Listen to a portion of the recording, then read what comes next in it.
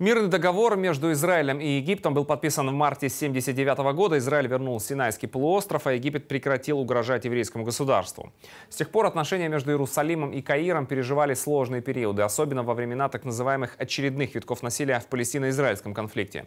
Три года назад, после операции в секторе Газа, Египет принял решение отозвать своего посла. Тогда этот шаг многие политологи расценили как сигнал к возможному разрыву дипломатических отношений. Но египтяне думали иначе. На минувшей неделе Каир вернул посла в Израиль.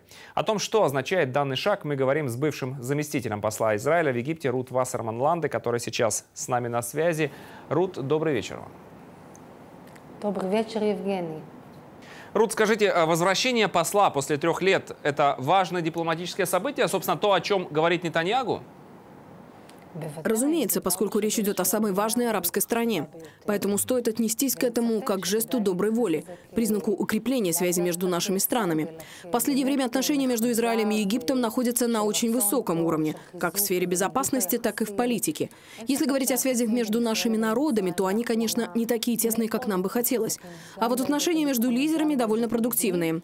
Президент Ассиси, глава самой важной арабской страны, демонстративно отправляет своего посла в еврейское еврейское государство. И это происходит в тот момент, когда у Израиля и палестинцев, мягко говоря, довольно сложные отношения. Это важный посыл, к которому стоит отнестись со всей серьезностью.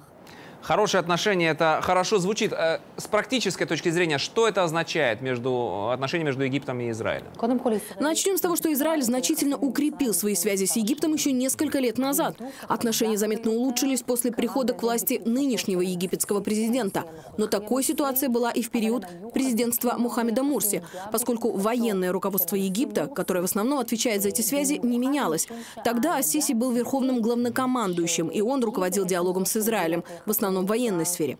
Де-факто существует полное совпадение интересов в этой области, особенно когда мы говорим о ситуации на Синае, где действует отделение группировки «Исламское государство». Каир крайне заинтересован в том, чтобы предотвратить попадание террористов и оружия с полуострова на остальную территорию Египта. В Каире также пытаются предотвратить переброску оружия на Синай от Хамаса в секторе Газа. Это крайне важная тема для обеих наших стран. Поэтому сотрудничество здесь жизненно необходимо и для Египта, и для Израиля. Подтверждением этому служит добро Израиля на увеличение египетской военной группировки на полуострове. Намного больше, чем позволено держать там согласно мирному договору от 1979 года. Израиль пошел на это вполне осознанно, понимая весь риск такого шага.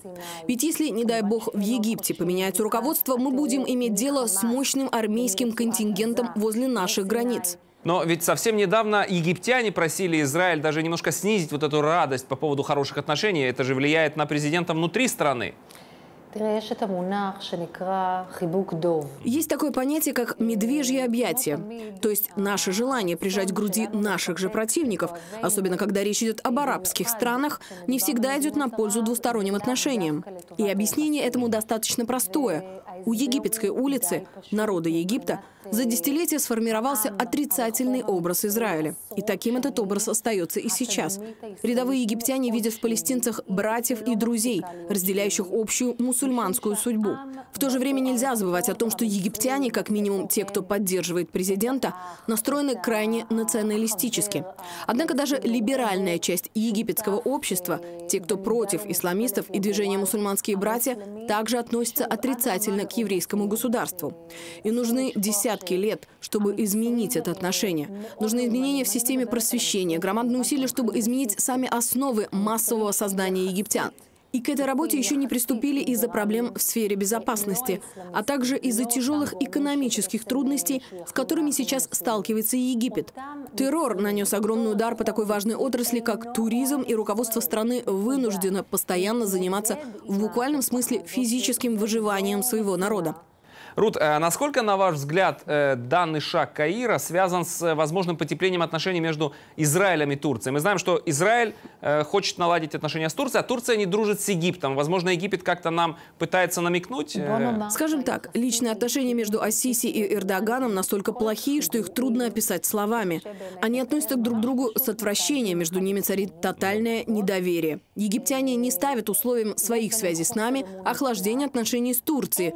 Однако всем понятно, понятно, что за поведением лидеров стоят государственные интересы. В отношениях между израильским руководством и определенными фигурами в руководстве Египта также нет особой теплоты. Однако речь идет о жизненных интересах. Политика Сиси на израильском направлении движет его любовь к своей родине. Он понимает, что сотрудничество с еврейским государством приносит пользу Египту. Оно помогает в обеспечении безопасности и стабильности в стране. Ассиси также понимает, что за стремлением наших властей укрепить связи с государствами региона стоят интересы Израиля. Существует экономическая конкуренция, а также борьба за региональную гегемонию между Анкарой и Каиром. Но можно определенно сказать, что уровень сотрудничества и понимания общих интересов между Израилем и Египтом намного превышает аналогичный уровень в израильско-турецких отношениях. То же касается и личных связей между лидерами трех стран. Рут Вассерман Ланде, в прошлом заместитель посла Израиля в Египте. Большое спасибо. Большое спасибо, Евгений.